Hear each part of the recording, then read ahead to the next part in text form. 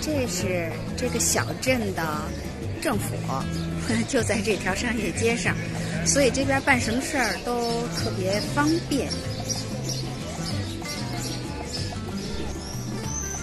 在旁边的小街里边都很安静。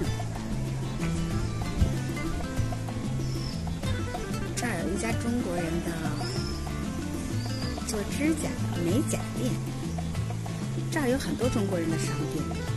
其实中国人在国外去的地儿都还挺好的，站的位置都还挺好的。